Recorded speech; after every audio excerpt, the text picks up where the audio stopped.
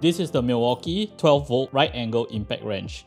The tool comes with a half inch square drive and a slim body to allow you to get into the space very efficiently.